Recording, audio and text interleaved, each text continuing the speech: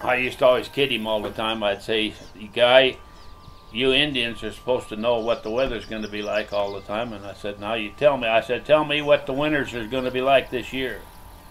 And he says, "Vern," he said, "the winters is going to be mighty tough." And I said, "How do you know that?" And he says, "The white man is getting lots of wood."